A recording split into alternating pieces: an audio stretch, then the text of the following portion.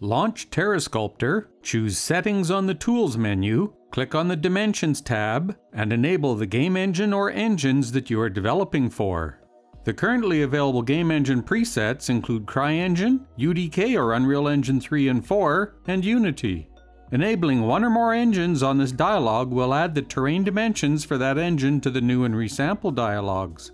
You can choose to enable just the engines that you are working with, or you can choose to also include other standard dimension values such as power of 2. On the Settings dialog, choose the Units tab and select the game engine from the presets drop-down.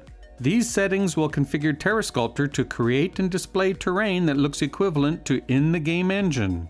The TerreSculptor grids and measurement system will match up with the game engine. When exporting height map content for Unreal Engine, the PNG 16-bit grayscale file format is preferred. See the Unreal Engine documentation for landscape creation techniques. When exporting height map content for Unity Engine, the raw 16-bit file format is used. It is required to keep the dimensions square in the raw file so that the width and length are identical. Dimensions also have to be power of 2 plus 1, such as 513 by 513.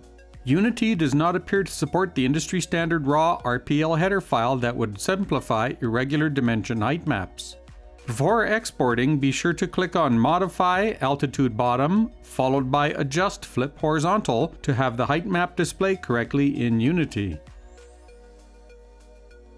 It is not recommended to edit height maps in Adobe Photoshop. Photoshop does not support 16-bit grayscale, which is 65,536 total level values. It supports 15-bit plus 1 grayscale, or a grayscale range from 0 to 32768. This results in half of the 16-bit height map precision being lost.